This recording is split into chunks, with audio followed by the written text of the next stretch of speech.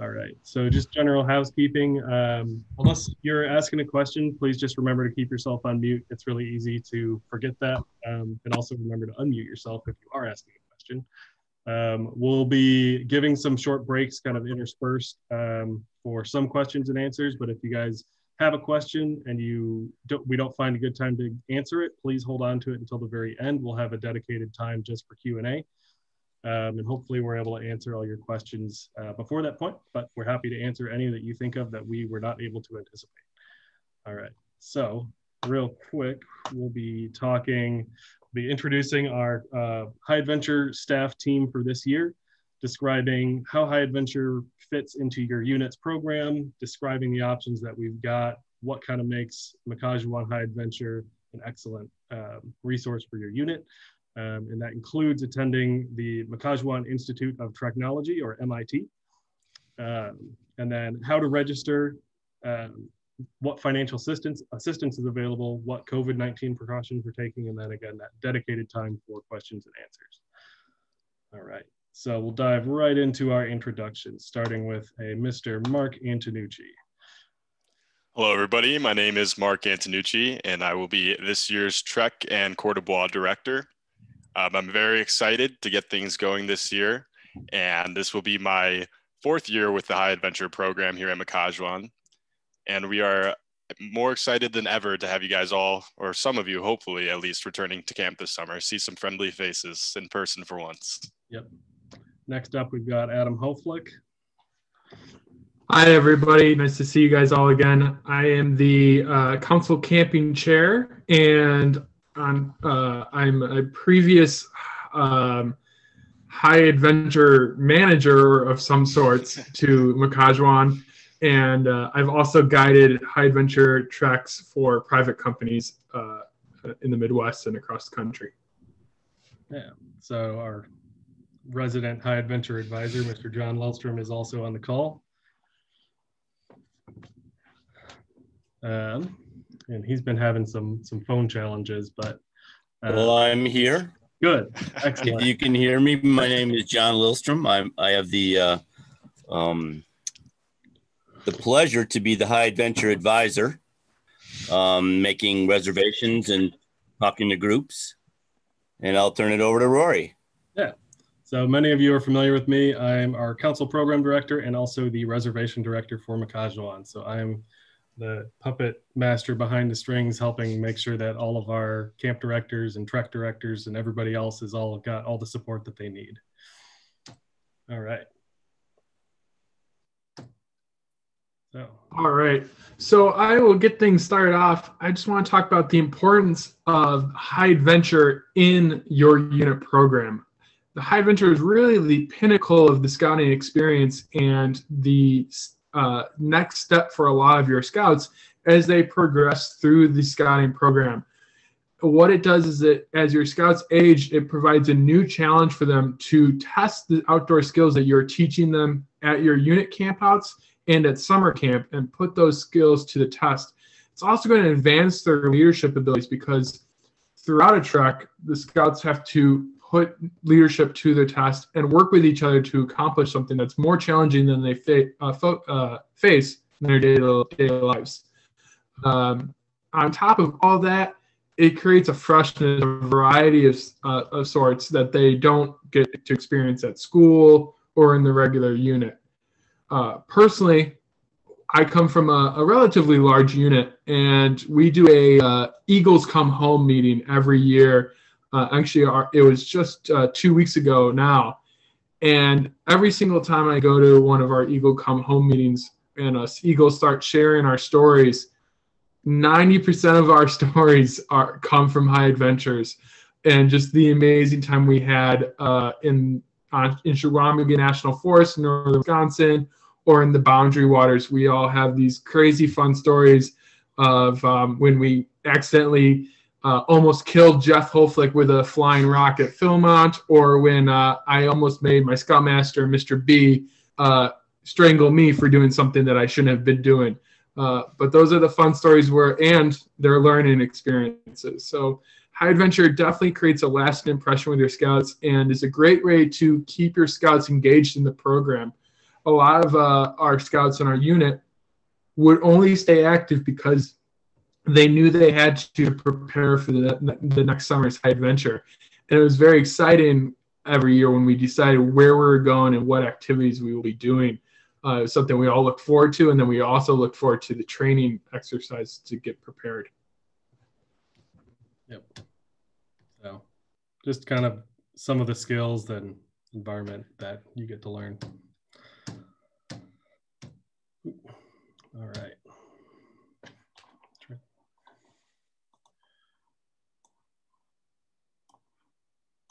All right, so um, High Adventure Base. Sorry, look, reviewing my notes real quick. Uh, we trek all over the Northwoods of, of Wisconsin, Minnesota, and the Upper Peninsula, and um, our our treks are true wilderness experiences in that um, we go to remote places and um, we're not we don't necessarily have the same amount of program and um, staffed camps at all of our destinations because we're going to really really remote pristine areas.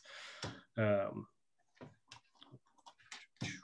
so kayaking on the apostle islands is another really remote experience. We'll be able to get into that in a little bit. You can canoe the boundary waters paddle on the flambeau river and all of its tributaries um, explore the headwaters of the wisconsin river sailing on Lake Superior, also in the Apostle Islands, from a completely different perspective than you get at water level in a kayak. Um, follow the trail of the last ice age on the Ice Age Trail. Test your metals on Isle Royale's copper rich rugged trails and prickle with excitement for the Porkies.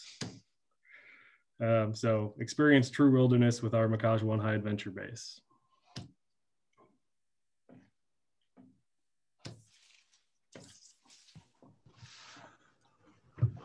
All right. So Apostle Islands National Lakeshore. Uh, National Lakeshores actually hold the same kind of designator as national park. They're kind of like one step below a national park. Uh, probably you probably all know that because Indiana Dunes was a national lakeshore and has just been upgraded to a new national park uh, last year. The Apostle Islands is off the Bayfield Peninsula in uh, northwestern uh, Wisconsin, sticking up there into Lake Superior Actually, one of the islands that makes up the Apostle Islands features the northernmost point of Wisconsin. Uh, it is a awesome place to go and take on Gitche Gumee, uh, to paddle along the uh, the lake and to island hop. Some of the cool features include lighthouses, sea caves, like you can see in that picture there, uh, where you can actually paddle into the sea cave where your whole boat will disappear into the cave. Uh, one of my favorite stories from the Apostle Islands was when I was guiding there. I was guiding with uh, John Barkhausen, a uh, former West Camp director, if you guys remember him, and uh, John Lilstrom's son, Eric.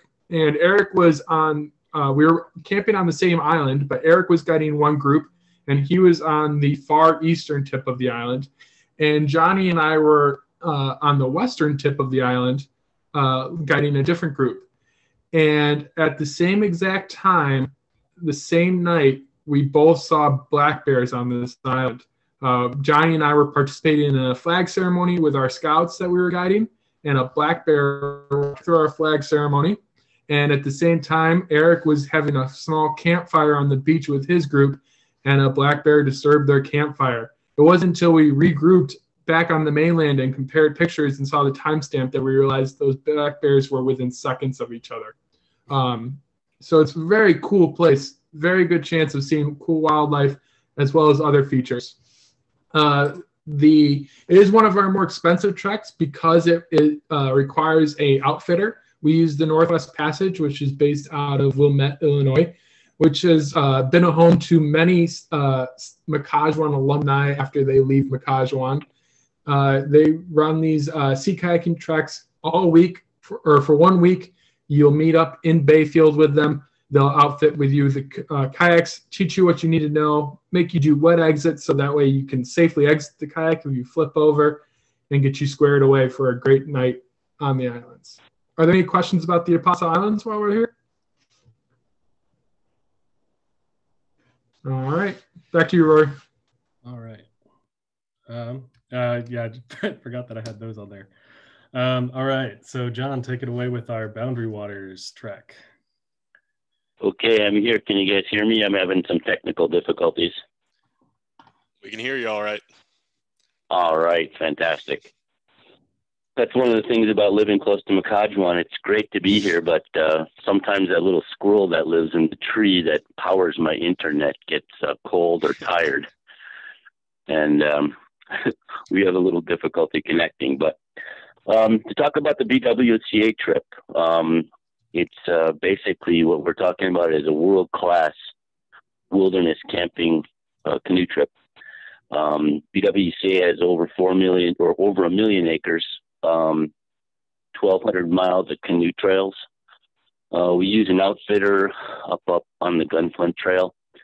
Uh, it's one of our um, treks that starts on Saturday, the day before the regular camping uh, program, and we uh, um, spend the the first day doing our overall shakedown and prep, and on uh, Sunday, uh, when everybody else is coming into camp, we get together and uh, take off and go up to our outfitter at the Boundary Waters, and uh, spend the evening getting our gear taken care of. It's about a seven and a half, eight hour drive up to uh, the tip of the Gunflint Trail, uh, where we spend that night in a in an Adirondack and get our get our gear set and ready to go for um, the following morning.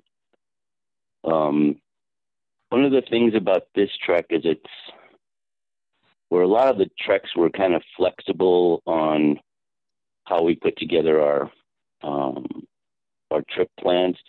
We need to really make a lot of advance um, planning with this particular trek. So we we talked to the people that are are, are on the trek uh, and basically put together um, a, a, trip based on the um, experience and the needs and desires of the individual group. So then um, we get right into the um, right out on the water on Monday. Then Monday, Tuesday, Wednesday, Thursday, and Friday morning on the water. Um, generally speaking, we do um, a trip every day instead of base camping, uh, unless we have a very inexperienced group. Um, and the outfitter will then pick us up on Friday, bring us back to um, their Adirondack, uh, where we have a nice dinner and uh, showers after being out for that amount of time. Um, and then we uh, spend the night there and then head back to Ma-Ka-Ja-Wan on, on Saturday. Um, any questions, overall questions on uh, the BWCA truck? John, when would you recommend people um, as kind of a last time that they would be able to sign up for it? When would you when would you recommend people sign up by? Uh, it's one of those where um, we have a little bit of flexibility because we can move. Um, the way the Boundary Waters works is uh, you don't have specific campsite reservations like we have in a lot of our other facilities. Um, it's basically a um, an entry point. So right now, uh, the entry points uh, are going to start um, being assigned the first of February. Um, but we have pretty much we we can we have some flexibility all the way through February into March to get exactly what you want. Um, and then if maybe if you were to decide, well, even in April or May, we might be able to to find an entry point. Um, the the problem with wait, waiting that long is it may not be um, an entry point that you want. I mean, that that would be more convenient to me. You may have to have um, have to drive a little bit more or do a few more portages uh, on your route. But uh, I would recommend that we get things in. Well, let's say, let's say in February that would probably be the best overall. Hey, John, this is Tom, Tom McFadden. I was just wondering how early uh, you would recommend the group would do whatever training they're going to do before going on a trek like that? I think they should. Um, um, again, we can tailor the the distance um, to the individual group experience. Um, but I think they ought to, you know, spend um, a, a, weekend at least, uh, if not two weekends out um, canoeing, and maybe one one weekend where they're where they're out with uh, canoe camping, um, which you can you can find down your way, or or basically just working to where you have your gear out and and kind of like simulating uh, getting your gear together, putting it in the canoe, taking it out, that type of thing. So, hey John, um, can I jump in real quick? Uh, this is sure. Steve Brazda from True 56. With regards to the question that's on the table, that was an experience that I had um, on my high adventure trip with my unit. And uh, for us, we were fortunate because we do go up to Ma-Ka-Ja-Wan for our summer camp. And what we, our, our, trip was after our summer camp week, and we had kids going on, scouts going on both summer camp and high adventure three weeks later. What we did is we talked with um, the aquatic staff and we set up some extra time in aquatics to practice some canoes strokes. We did take um, a couple of nights. We did bring scouts over there and we ported canoes back from aquatics to our campsites and back in the morning to give them practice of long distance portaging. And we also did some portaging at home. We uh, had some old uh, heavy aluminum canoes and we were walking them up and down some urban uh, streets here in St. Charles and uh, giving them a little bit of a taste of what it would expect. Um, it was a lot harder with the heavy aluminum canoes. So we were pleasantly surprised that it was a little bit lighter with the canoes up there. But um, we did uh, consider a couple of options working with Ma-Ka-Ja-Wan while we are up at camp. Hope that helps. Cool. All right. Our next trek is our Flambeau River Canoe Trek. Okay, Flambeau.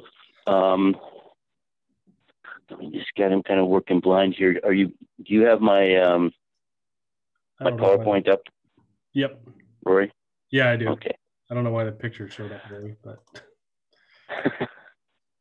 so basically, the Flambeau Trek is one of our oldest uh, treks. We started that back in the early '70s. Um, the uh, the Flambeau Turtle Flambeau Scenic Waters area is about 40,000 acres of rugged forest, undisturbed shoreline, um, flowage area, which is basically for those of you who don't know, flowage is a dammed up a lake that's created by a dammed up river. Um, anyway, it's one of our more flexible programs. Uh, you can start and basically go in at the um, on the Manitowish River or the Bear River or you can start right right on the um, on the turtle flambeau flowage. Um, it's one of our programs that starts on Sunday, same as our um, our other our, our, normal camp program. Um, it's one of those that is um, can be geared toward very basic canoeists, and then also um, people that want to get out and and paddle a lot. Um, the flambeau is also kind of for me. I, I spend a lot, a lot of time in the flambeau personally. It's uh, it's a world class fishing uh, area for walleye and muskie and um, smallmouth bass. So we encourage people that go on those treks to um, to fish if they would like to, and, and be prepared with uh, fishing tackle and you know, work it so that they might get a, a night of uh, a dinner with fresh fish. Um, also, from a wildlife standpoint, we see a lot of um, uh, basic, you know, the the basic wildlife you see, uh, kind of at Ma-Ka-Ja-Wan, the eagles. I think we may have lost John. Up in the Flambeau is uh, at night we'll hear wolves howling. And um, the other one of the things is that we'll, we'll hear a lot of uh, sandhill cranes and see a lot of them in that area as well. Um, basically, what we'll do is um, we get into the high adventure base on Sunday, do our shakedown and prep, and then go right into the um, Flambeau on Monday morning at one of those uh, one of the checkpoints that we've decided, uh, the, one of the landings, and spend uh, a day or maybe two on the river, and then a couple of days paddling through the um, the Turtle Flambeau flowage, uh, and then the last day on Friday, um, if the group is up to it, um, we portage the the Turtle Flambeau Dam, and then um, paddle down Flambeau River for about four four and a half hours, depending on how many times you um, have to pull over to get the water out of your canoe. There are several sets of class two rapids um, from the dam down to where we, we pull people out on Agenda Landing just north of uh, Park Fall. Yep. Any questions, additions? I think everybody everybody on our staff here has been on on that trek uh, at least once, and many of you several times.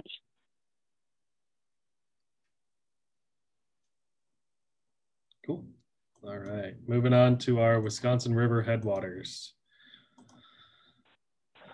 Wisconsin Headwaters is one that we started about five years ago. Um, we were wanting to develop more of our programs uh, close into camp. Um, again, that starts on Sunday, uh, where we um, go through our, our normal shakedown program and then uh, go up to an outfitter that we use north of Conover, Wisconsin, which is uh, very close to the Wisconsin Michigan border. Um, kind of set up camp there at uh, a campground of the outfitter on Monday, um, get everything set, and then on Tuesday morning we bus up to basically the headwaters of the Wisconsin River. I don't know if a lot of you know the size of the Wisconsin River. You cross it a couple of times when you're on your way to camp. And it's quite large, but uh, we put in at an area where it's kind of like Skids Creek um, coming down into uh, Lake Killian. It's a very narrow, um, small river.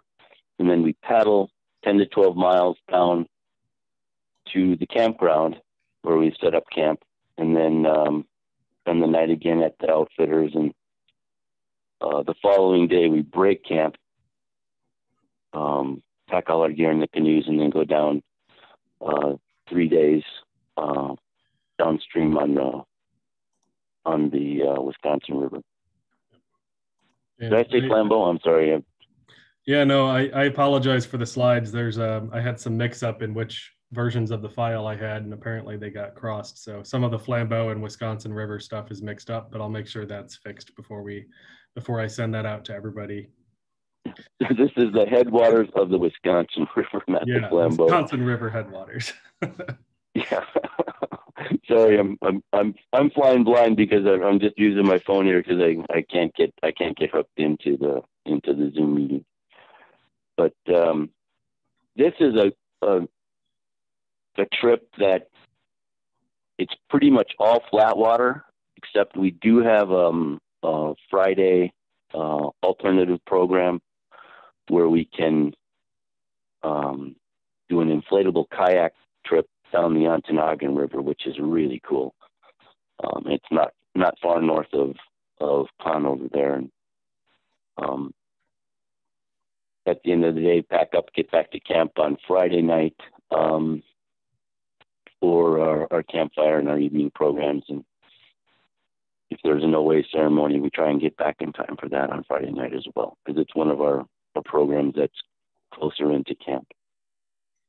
Um, just any questions on that specific program? Okay. Um, just in general, um, you know, a lot of people ask about, you know, which program is designed for the beginner and which program is designed for the more advanced um, older scout. The way I look at these is we really have the opportunity to tailor a lot of these water programs to either very um, novice canoeists or we can ramp them up to be a good trek for for even more experienced canoeists. So, um, with um, and that's basically the Wisconsin River Trek and the Flambeau. Um, Boundary Waters is a little bit more of um, oh, I wouldn't say advanced trek, but it's one that um, we really need to, to have people that have spent some time in the canoe before. Cool. Thank you very much, John. All right. Whoa, Ice Age National Scenic Trail. So uh, one of the closest treks that we offer to Ma-Ka-Ja-Wan um, is the Ice Age National Scenic Trail. Um, it's a five-day backpacking trip um, that covers a couple sections of the Ice Age Trail that are uh, literally in Ma-Ka-Ja-Wan's backyard. I think they're like 15 miles away from camp, so it's definitely the shortest travel time. Um, so the Ice Age Trail, if you're unfamiliar with it, is the is a 1,200 mile long footpath cutting across the state of Wisconsin that follows the terminal moraine of the the glaciers from the last ice age. And um, that picture below is one that I took with I think Troop 4150 or Crew 150 on one of their backpacking trips a couple years ago. Um, so the trail, as close to civilization as it may be in terms of you're probably no more than five ten miles from a road at any given point, um, you still really feel like you are out in, out like in the, in a really primitive natural area. Um, and the trail itself makes you feel that way as well. So it's a really, really neat opportunity to, to get to one of the lesser known parts of the Ice Age Trail as well. Um, it's great for all skill levels. Um, again, um, and this one, the typical timeline for it is you'll show up on Sunday and you'll go through the normal kind of shakedown and gear prep. And then Monday morning, um, you'll head right to the trailhead, get dropped off, and start on your trail right right there. Usually before 11 a.m. on Monday, you're on the trail moving. Um, and you'll get to just keep on pushing and pushing until you get to your uh, final uh, endpoint where you can get picked up. All right. So, oh yeah, and there's the timeline. Um, and one of the other nice things with the Ice Age Trail is that you'll you'll be able to get back to camp early enough that you'd be able to um, schedule an afternoon program on Friday, whether that's horseback riding, if you want to go mountain biking, or if you just want to like relax on the water, um, we'll be able to figure something out for you to do back at camp um, before dinner and before any OA ceremonies if you're doing this in one of the odd weeks. All right. So our Lake Superior sailing trip. This quickly became one of our more popular ones. Um, this is another one that's up in the Apostle Islands. And as mentioned before, you get to have a really, really cool, unique um, perspective on the, the Apostles um, by sailboat. So we partner with the marina up there and they provide the US Coast Guard certified um, skippers for each of the boats. Each of the boat is each of the um, sailboats are equipped with um, galleys, refrigeration. Usually they have grills and they'll have opportunities for you to go off and explore all of the islands that you're going to be sailing through. Um, so you get to have a little bit nicer food. It's almost like car camping, except you get to float on the water and get rocked to sleep every night. Um, and yeah, it's pretty neat. I this is one of the treks that I haven't personally been able to get onto yet, uh, but I I'm, I very much would like to as soon as I can. Um, yeah. So, and I think it, it should be in a different part of the apostles as well. They're in different parts of the island chain. Um, from logistics, uh, each ship is crewed up to six people. Um, the specific kind of breakdown of, of why is up on makajuan.com slash high adventure. Uh, but it's there's only room for seven people on the on the boat, and one of those is uh, reserved for the captain. Um, all right. Mark, do you want to take it away with yeah, Rory? Rory? Yeah. I have been on the uh, the sailing trip. You want me to talk about it for a minute? Yeah, absolutely. I'll go back to Yeah. So I actually my my troop had the honor of being the very first troop to to take this trip, which was cool. Yes, I remember. yeah. Yeah, we had a good time. Uh, we were blazing a trail for everyone else. But the the important thing was that the we found out about the second day that our skipper actually was an Eagle Scout, which was real, real cool. And his his attitude was, you know what? I don't want to have to touch the wheel the whole time. You guys are going to run the boat, and I'll just supervise. Now it, it turns out he actually did run the wheel. Um, he dropped us off at an island. There was really nowhere to dock, so he had to kind of come up to the dock. We all jump off, and then he took it back out because there was nowhere to anchor it, and just kind of went in circles out there for a while. Anyway, um, but it was it was a great trip. Uh, we got to find out who knew how to drive because some of the boys driving the uh, the boat had no clue what they were doing. Um, and the other nice thing is you pretty much you sit down and and I mean he's the captain is going to be realistic with you about what you can and can't do in a, in the days you got, but you get to plan your own trip. You know what part of the Apostle Islands? What do you want to see? You want to see lighthouses? You want to camp on beaches. You can stay on the boat. You can camp on the shore. It's up to you. Um, they're pretty flexible on that. Cool. Thank you, Chuck. Yep. yeah. All right. So, Isle Royale, another Lake Superior adventure. Yes. So, as you can see, I have it labeled as the beautiful hidden world in the North Woods. I have to be honest, I was a little selfish when we uh, divided up the different treks and who was going to talk about what because this trek and the next one are my absolute favorites. Um, I'm a backpacker, and Isle Royale and the Porcupine Mountains are two just absolutely amazing backpacking trips. Uh, I actually go to school here in Missoula, Montana, where I get a, the chance to do a lot of great backpacking. Um, but it is a different world out there in the beautiful North Woods and I will explain to you exactly why I love it. So, Royale is a fantastic and and beautiful hidden gem. It's um, if you go to the very utmost point of the Upper Peninsula of Michigan, the highest that you can go.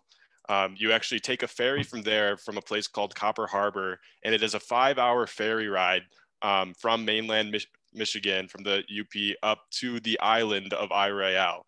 So Isle Royale is actually the fourth largest lake island in the world. Um, cool little fact there, and it's it's 206.73 um, square miles of perfectly preserved um, national wilderness area. It actually na- it has national park designation.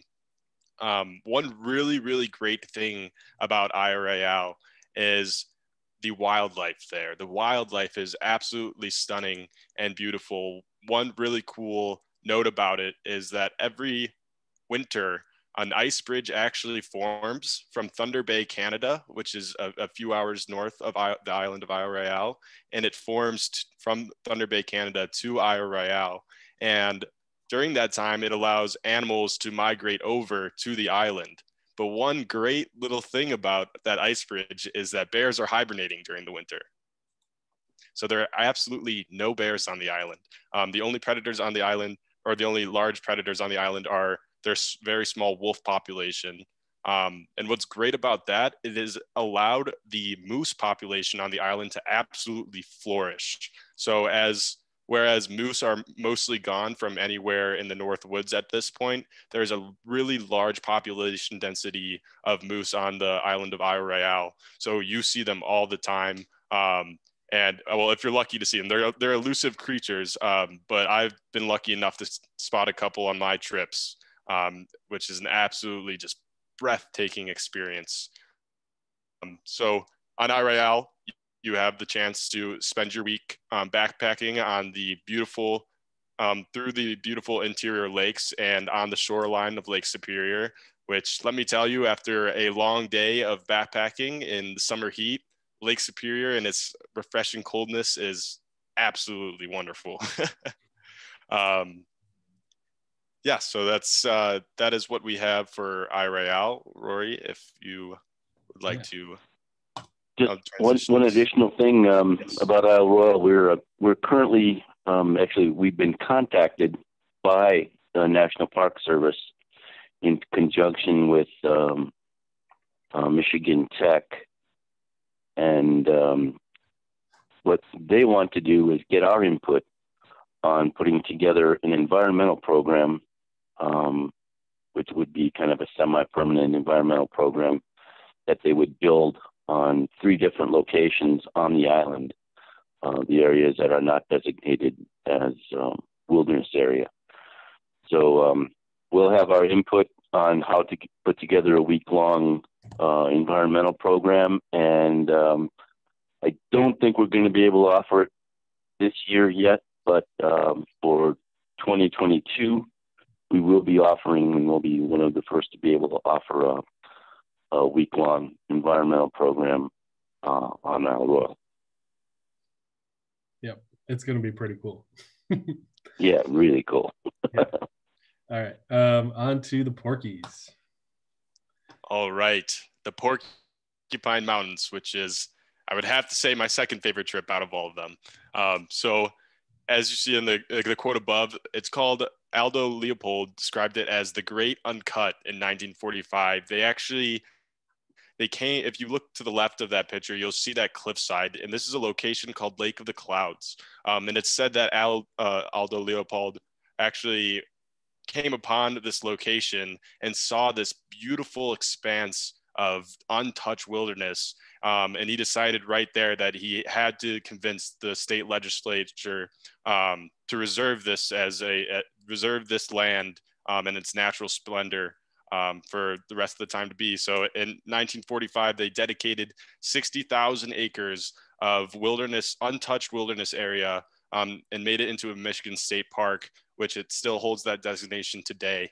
Um, Porcupine Mountains is an amazing, amazing combination of um, interior forest hiking combined with again that that lakeshore um, hiking experience. So it's let me tell you, it's a, it's a nice thing to uh, to hike towards the lake because one thing lakes are great about is, is blowing wind that blows the mosquitoes away. So you'll always be looking forward to uh, to heading towards those those beautiful views on Lake Superior um, and towards that ice cold water.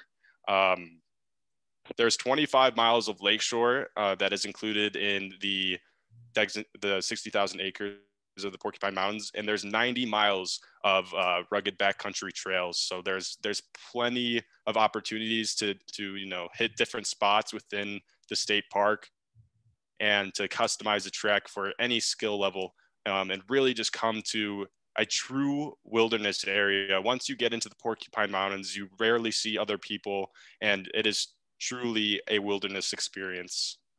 Um, and it's about it's only about three hours north of our, our camp at Ma-Ka-Ja-Wan, so it's not um, too far of a, a, journey right up to the to the Upper Peninsula of Michigan there, and right on the beautiful shore of, of Lake Superior. Yep, that's awesome. Um, any questions on Isle Royale or Porkies? One comment on the Porcupine Mountains. Mm-hmm. Uh, many people have said that is a wonderful place to do a shakedown a year or two before uh, uh, Philmont Trek. Absolutely. Yep. Absolutely correct. Um, it is really, really a great spot. There's a ton of opportunity to practice uh, elevation change um, within the state park, which is one of the reasons that it makes it such a great trek um, if you're preparing to go on some other high adventure treks and let's say, in Philmont or other backpacking across the country. Uh, being able to practice that elevation change in the Midwest is not something you get to do um, in every location, and that's one of the one of the many reasons that makes uh, the Porcupine Mountain such a beautiful place. Yeah. So we know the Porkies are special. Uh, Mark, I got a question for you. What makes Ma-Ka-Ja-Wan High Adventure so special? Oh, let me tell you about that, Rory. Um, so one of the first great things about Ma-Ka-Ja-Wan High Adventure specifically is it gives our scouts and us a chance to explore the natural beauty that's in our very own backyard. So there's there's not very much wilderness area left in the Midwest, and these are some of the most beautiful, pristine places that I have ever um, I have ever been to across the entire country. Um, I've, I've, absolutely fallen in love with these areas, and it's really important to to get our youth out into these locations that are that are close to home, not necessarily vacation destinations because it, it helps them create a, a meaningful connection with the environment around them, um, which has uh, so many positive benefits not only for the individual but also for our environment and our and our world as a home or as a whole. Yeah, so we've we've touched upon this point a couple a couple times throughout the presentation, but the Ma-Ka-Ja-Wan High Adventure is is absolutely fantastic for the different um, levels of skill set um, or the different level skill levels within a troop. Um, we can customize treks very specifically to what a troop is looking to accomplish, whatever goals that they have in mind, or just um, to make sure that everybody is comfortable. Or if you guys really want to go out and challenge yourselves, um, we can, you know, make our guides do that too with you. Um, another great thing is uh, obviously we have um, a wide expanse of different skill sets that we can that we can go over during these treks. So whether it's a backpacking trek or canoeing trek, sailing or kayaking, there is a, a large plethora of different skill sets that we can make sure that we hit um, during those experiences. One of the great things, obviously, is you have the uh, ability to practice your leadership skills um, during these treks. And one fun thing about Ma-Ka-Ja-Wan is is especially if you're preparing for a larger trek in the future, we have a lot more flexibility with our our meal um, creation. So we really strive to make sure that we are providing um, not only fresh and nutritious food, but we're providing the scouts a chance to actually practice these backcountry cooking skills, which is actually not an experience that uh, you get on a lot of different high adventure tracks. A lot of um, like let's say if you go to Philmont, almost all of your food will be prepackaged or dehydrated. We try to stray away from that as much as possible, as much as uh, our weight thresholds allow, um, but to provide you guys with that those uh, those practicing those different skill sets. Um, yes, convenience and accessibility. That's also a, a very important part of um, the Ma-Ka-Ja-Wan experience. Obviously, it, it is is convenient that we are able to communicate with you guys on a one-to-one um, level before your trek starts. Any questions you guys might have, we are more than happy and excited to talk about these trips with you guys. Um, we've been on these treks ourselves and we know just how actually life-changing um, they can be. Yes, okay.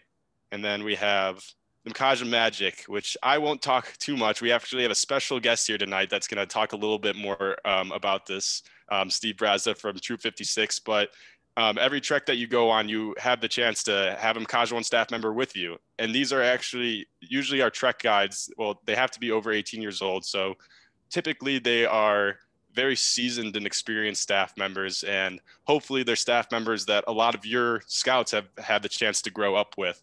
Um, and it's a really great opportunity for your older scouts to to interact with a um, staff member that may be more wise or knowledgeable and and having that staff member with you brings that little bit of Ma-Ka-Ja-Wan magic into your trip with you instead of um, the adult leaders getting hashed that out for themselves. So we'll let Mr. Brazda talk here um, and share his ex- his experiences that he's had with the Ma-Ka-Ja-Wan High Adventure program.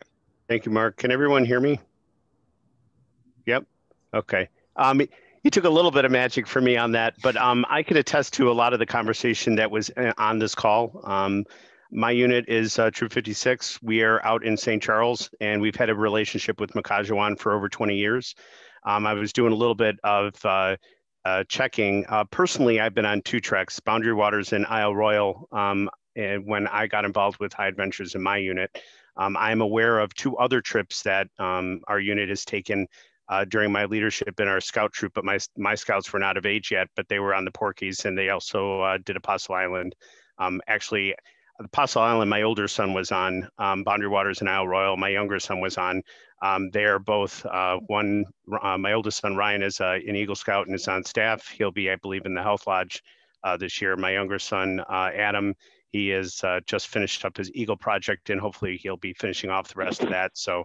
Um, he'll be turning 18 uh, in advance of camp, and I think uh, he is uh, interviewing to be on staff as well for this coming year. But um, he's been on both the last two trips with me on the Boundary Waters. But I could speak um, specifically to the uh, the context of uh, taking a look at the size of your group, the experience of your group, um, size meaning even height. Uh, my younger son, Adam, uh, it was under 100 pounds and he was on the boundary waters. So, you know, there was a little bit of concern with uh, getting him prepared or getting ready for portaging and stuff like that on canoes. Um, in Isle Royale, um, he was still under five feet, barely under five feet uh, tall. And uh, what he was able to carry in a backpack was much different than some of our other scouts that were 6'2 uh, in size. So, um, you know, it, we there are ways to be able to accommodate that uh, in flexibility and working through that. Um, one of the advantages of working with Ma-Ka-Ja-Wan that I had found is I was never the the scout or the total outdoor guy. Um, I learned a lot of my skills through scouting, uh, through my experiences and going through training in the program, uh, wilderness uh, first aid training, etc. But I had never done that as a, as a scout. I used to do summer camp up in the northern woods myself, about 10 minutes away from where Ma-Ka-Ja-Wan is at, um, up in um, uh, Rhinelander. But uh, I never took a high adventure to that extent. So one of the uh, one of the values of working with Ma-Ka-Ja-Wan, obviously from our unit's perspective, we already had the relationship and we knew many of the staffers that were there. Um, they also take some of the pressure off with regards to worrying about gear and some of the other equipment and peripheries, where you're able to then concentrate just on getting your youth prepared for the trip and what you might need to do personally. Um, and that takes a load a, a big load off of your um, off of your leadership especially when i've noticed that over the last 10 years um, a lot of the available time and effort to be able to do that you've got a lot of dual working families and that and being able to plan uh, some of these high adventure trips more the the more complex ones takes a lot of uh, time and effort off the leaders and if, uh, in this case here, Ma-Ka-Ja-Wan's able to do all that with their outfitters and work their magic on the backside, you can concentrate on what what matters most and make it enjoyable and preparedness for your scouts. Uh, the one thing that I also like to kind of call out is, you know, when we talk about scouting, scouting is all about the circle of life. It's kind of a pay it forward type concept. Um, I can speak from personal experience. The Makaja Magic and the Circle of Life. Um, I, I've known of, uh, I know Adam Hoflick did the Apostle Island trip with my older son Ryan, and I know there's just some good, uh, good jokes and uh, about uh, towing a couple canoe uh, kayaks a, a, couple of times on that trip. They had some uh, pretty high waves, but um, they did an awesome job on that trip. But um, for the Boundary Waters trip, I ended up working with a a, a guide, Brett Towell, uh, my story or circle life on on this from a scouting perspective is Brett Towell was a CIT at Ma-Ka-Ja-Wan and befriended my older son Ryan uh, at the time as a first year scout. I had no idea that you know eight nine years later I would be having a discussion with Brett Towell on a high adventure trip in Ma-Ka-Ja-Wan for a week and be able to reflect um, you know, where our paths had intertwined. And I've seen him in and out of camp, you know, several years after that very first experience, but had no idea that I'd see him on a high adventure trip um, coming back. So um, for me, it was uh, very personal from a scout family perspective. Uh, a lot of the staffers have become my extended scout family because I've seen them. I'm Mark is nodding his head. I was with him on uh, the last trip up in Isle Royale, and we had a great time on that. Um, I can speak to we did see a moose on that trip. Uh, uh, far end of a lake, but I was able to spot one. We were at the end of the pack and had the ability to kind of slow down a little bit to take some photos and and catch some of the wildlife. But um, again, I guess I digress. But you know, the Ma-Ka-Ja-Wan magic is truly there, and I can't speak enough for the preparedness of the staff and the ability that the staff working with your youth. So a lot of it is leadership. When you talk about these high adventure, you're preparing your crew for leadership amongst themselves. Them having the visibility of the staff at Ma-Ka-Ja-Wan, which they, in our case, we already had familiarity with the staffers through the program over the years. That added an extra quality from an adult leadership perspective that allows, uh, you know, gains the, uh, helps the crew members at Ma-Ka-Ja-Wan um, lead our crew and work with our scouts, but um, makes a connection there. But it kind of completes a full circle with, you know, the pay it forward part.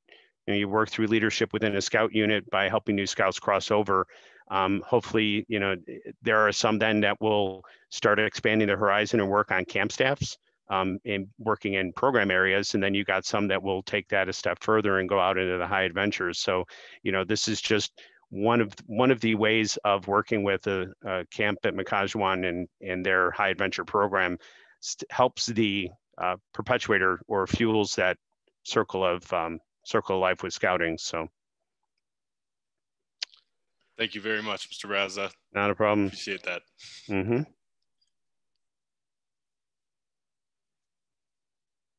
You're muted, Rory, just so you know.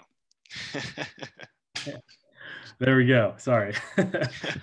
um, so now we'll kind of get into the more nitty gritty stuff, which is how do you register um, and what kind of financial assistance is available for some of, or if you have anybody in your unit that may need it.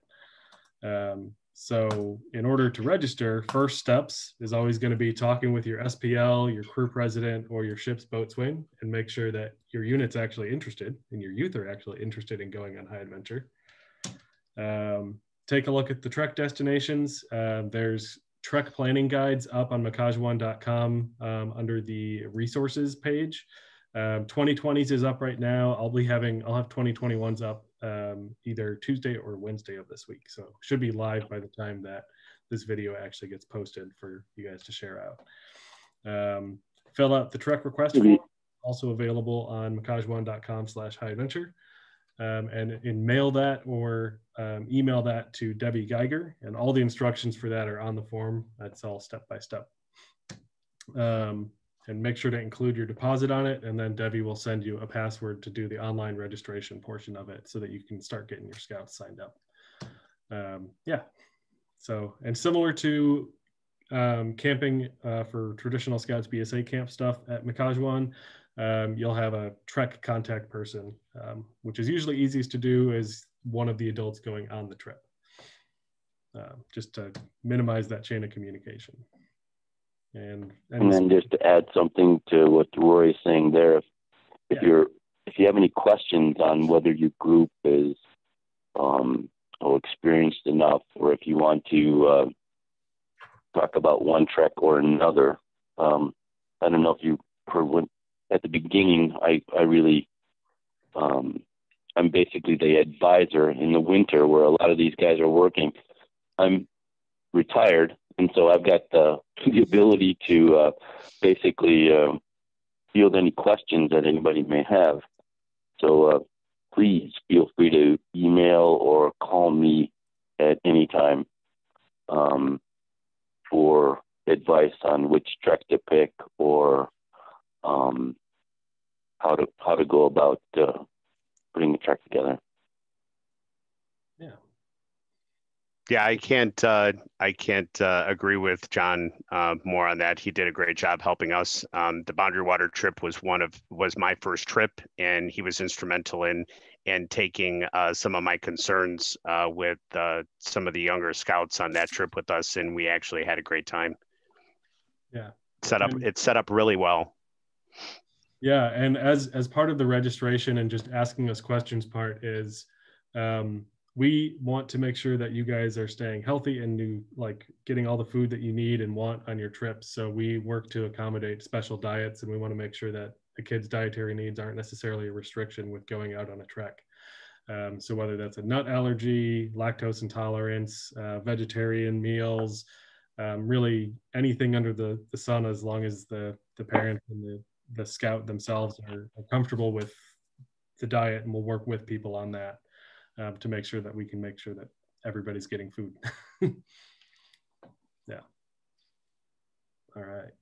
So for our next one is financial assistance. So we have a very generous um, scouting community in NAIC that has funded um, a campership program that's available for NAIC scouts uh, to use on any of the treks below. Um, that can cover there's a, a an application online um, that is linked on um, the high adventure page or should be and then also on um, our iHub under the unit resources page and I'll include links to this in the um, uh, kind of the email that goes out once the video gets posted. I'll include a copy of the slides and any relevant links directly in the body of the email as well. Um, so there's an application that should be filled out by the family itself because it contains some personal and sensitive information. Um, but then it can cover any either some of the trek or all of the trek depending on what that family's individual circumstances are. So we want to make sure that your scouts can get out on high adventure as much as possible. And this campership program is also available for our resident camp for Scouts BSA, Bois program and also day camp and any any of the other summer camp programs that we offer. So yeah, please use it. All right. Now for the inevitable elephant in the room, um, COVID-19. Um, so we're coordinating with the Langlade County Health Departments and we're um, working with the American Camp Association who has, who contracted out a, a health and safety firm to write a COVID-19 camp operation manual along with the CDC. And we're implementing that for all of all of camp and that's going to extend to our trek programs and making sure that our staff are healthy uh, making sure that you and all of your all of your youth are healthy before you get to camp um, so that's going to mean more health screenings temperature checks and additional sanitation and hygiene items going out on treks and in camp as well so it's i know that's kind of bigger broader stuff but again it's we're still six months out from camp so a lot can change um, and we will keep adapting to the circumstances as they change. Because that's one of the keys to scouting is adapt improvise adapt and overcome. So. All right. And Rory, if i could just add a little something to that. Mm-hmm. so last summer the summit managed to run in july and august. They managed to do this with a record number of people showing up for their their summer camp like program and they had zero cases come out of that. So if you know you follow what what's recommended and everything it does work. Yep. Yeah so it, it won't yeah. We're, we're doing everything we can to make sure that everybody's safe um, for camp and our trekking program. All right. So um, if you guys have any questions, again, these will all be included out in a summary email and thank you for attending email that gets sent out later this week. Um, if you have any Trek specific questions, like what is this Trek and what, what should I know about this Trek, contact highadventure at makajawan.com. That'll email John uh, directly. If you have questions or need help registering for anything, whether that's high adventure or otherwise, uh, email debbie.geiger at scouting.org. If you've got some general Ma-Ka-Ja-Wan questions, email me at reservationdirector at makajawan.com. That just kind of helps me keep my um, all of the other scouting duties that I have and my Ma-Ka-Ja-Wan stuff um, separated, and I'll respond to you faster that way. um, again, these will all be sent out as well. Um, if you guys have any, actually, I think Adam was going to kick us off with a couple questions that got messaged to him. So we'll open yeah. up Q and A. First, I would like to echo what John said. If you guys have any questions about any of our treks or just about high adventure in general, please do not hesitate to reach out to that high adventure. Um, either Rory, Mark, or John, all three incredibly knowledgeable about the uh, high adventure programs, and they can help steer you in the direction. Whether you are interested in doing a trek this year, or if you come from a younger unit and you're interested in setting up a high adventure down the road, they can help plan an activity for you guys to help get you prepared, whether it's like a mini high adventure overnight uh, that gets incorporated to your Ma-Ka-Ja-Wan stay, or something you can do back home with your unit on your own. Uh, or if you're looking, your unit is looking to do their own thing. Again, all three are very uh, well knowledge and can help you um, form those plans. I did get a question uh, right away about the Apostle Islands. Uh, first, I did want to mention the Apostle Islands. I forgot to mention this earlier. Uh, has a slightly older uh, age requirement than the rest of our trips. Uh, you have to be 14 years of age. Uh, that's because you're of the craft you're paddling and the extreme conditions on Lake Superior. Uh, the other great aspect, though, about the Apostle Islands is it is one of our larger trek groups. We can take up to 16 participants on the Apostle Islands, um, which is, I think, the highest group size we offer. So uh, one of the, if you have a bigger group, great. Uh, that's a great program for you. Uh, Rory, would you like to answer uh, this question? Is the Cour de Bois taking place during week two? Uh, yeah, Cour de Bois will be taking place during week two with a special kind of flavor to it where it's going to be um, geared much more towards the venturing program. So I'm talking with our youth president of the Venturing Officers Association for NEIC, um, as well as the, the, adults involved with that. And we're planning a venturing specific Cour de Bois. Um, I haven't been able to get more information about it, about it yet because we're still planning it, but it'll have um, some equestrian theme to it, shooting sports theme, paddling theme, fishing theme, all sorts of activities under those that kind of umbrella, um, and climbing as well. So each each kind of portion of it's going to focus on a different part. Roy, did you just want to mention that um, during the next Mug, Mug Club meeting, we'll be discussing Cour de Bois further as well? Oh yeah, and actually yeah. So in March we'll be talking about Cour de Bois specifically um, along with some of the other kind of in-camp high adventure programs like the horse ranch climbing and all the other awesome fun stuff that we do um, yeah so if you guys have uh, if you guys want a kind of a information page to go to i've mentioned it a couple times we have our camp website makajawan.com and there's uh, we revamped it this past fall and so it's a little bit easier to navigate and if you just go under high adventure, you can get all of our information for that. Um, our resource page has the frequently asked questions, camp planning guides, health and safety, and some other useful information on there. Uh, we did get a question about uh, does every unit need to provide two adults?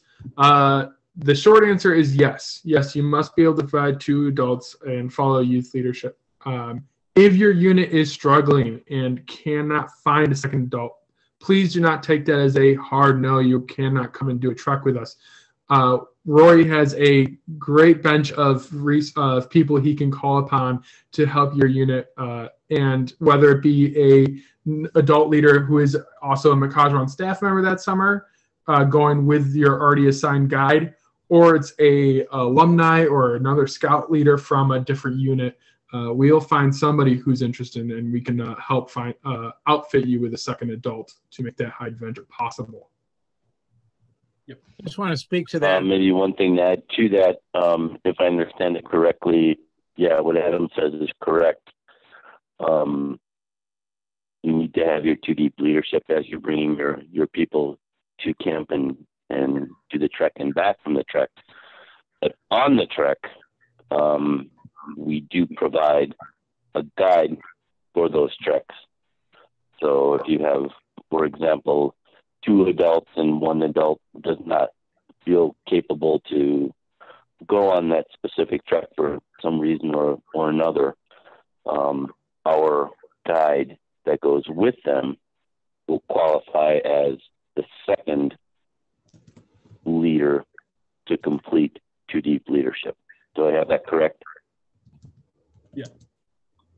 Actually, uh, or, PD leadership now, every all the both adults have to be over 21. No, um, not all of our guides are over 21. Yeah. Yeah. So okay. in that case, in that case, then okay. Yeah, in that case, we would we would try to um, obviously provide a, a guide that does meet that age threshold requirement. Um, but uh, okay. we're very flexible. Um, so we'll work with we'll work with our groups and we'll make the the experience happen. I know we had one comment from uh, Mr. Wolfson. Would you like to, to, to add something?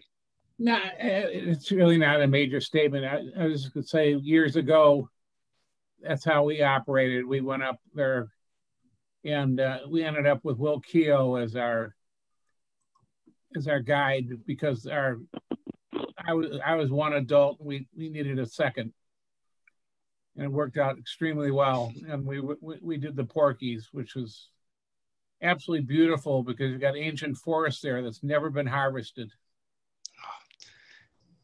It's yes, cool. best case scenario is uh, you have one adult and then you have to take me with you, and I get to go out for a week. Sounds good. You're sitting there nodding and smiling. That's exactly what you were thinking. Can read me your face. Too. I'm thinking the same thing. yeah, we're, uh, we're in the process of hiring our our trek guides for the summer, um, and we'll we're making we're going to hope to get a mix of over 21s and over 18s as well. Um, there's usually more 18 and 18 year olds than 21 year olds interested. We're also um, looking for trek guides who are uh, well for female trek guides, just so we can make sure to provide uh, female trek leadership um, and guiding experience to our uh, female troops as well. So yeah, so that's a great point. If you have um, over 18 year olds in your troop or that have recently left your troop that you think would be qualified or interested, we provide comprehensive training um, at the beginning of every summer that includes first aid training and uh, wilderness trek training. So, and we have the instructors that are qualified to do such. So, if you have people that you think would be um, very strong leaders and be able to take on this immense responsibility, um, we would love to get in contact with them and uh, possibly provide an interview.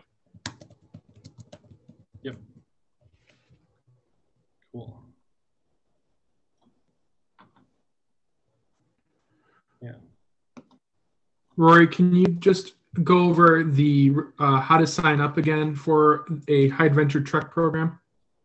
Uh, yes. So there's a couple. I'm going to go back in my slides a little bit.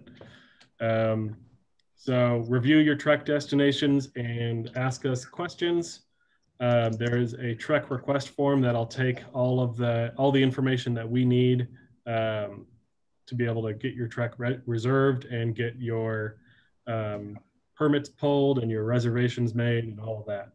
Um, and that form really has everything that we need on it. So if you, I will drop a link in the chat for that. Yeah, so if you go makajawan.com slash high dash adventure slash register or the link that I'm about to send, that'll take you directly to how to register for everything, the fees, what the group sizes are, and it's all in a table to make it even easier to read. Um, and this is also in the Trek planning guide, which is being reorganized to make it kind of a little bit easier to read than it has been in the past. Um, and this uh, registration page also has all the basic like higher level information that you would ever want um, about our about our tracking program. As far as what we include links to the guides contact information phone numbers um, how to support us if you have any extra gear that you're looking to donate. I'll be putting up a link to a wish list soon for that. So yeah. Any other questions uh, I just want to go over again. Uh, we are, uh, like Rory mentioned, he's working directly with the uh, Camping American Camping Camp Association, and they're uh, working with the CDC and other groups to form a plan for COVID. Uh, we don't have any hard policies for our COVID operations yet because we're still coming up with those policies. and we expect it to be quite fluid as we get closer. we want to know what what we're dealing with when we're dealing with it, we expect it to be a very different picture than the world we live in now. So we can't speculate at all on uh, what we will be doing to um, prevent the spread of COVID, but we will have precautions in place come this summer.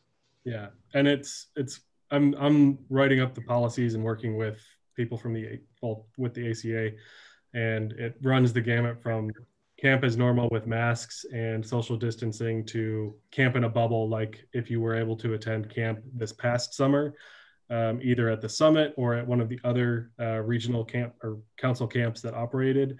Um, it'll either look close to that or close to camp or somewhere in the middle depending on what covid looks like at the time. Um, it's we're we've got a bunch of different options all like if a then we'll do check in like b or like C or like D. So it's there's a whole lot of options in place and there's a lot of different variables that all factor into what does COVID look like right now, like a month before camp opens or when camp opens. Yeah. And that'll also affect the visitation policies and everything else. So there's a lot of things that'll be impacted by it. Um, and I don't want to start having different versions of stuff published out of saying this is what we're doing 100%, no doubt. Um, because that could change in a month or two months or four months. Yeah.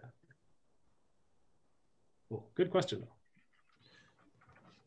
Any other questions out there about anything uh, hydrant related or Ma-Ka-Ja-Wan related?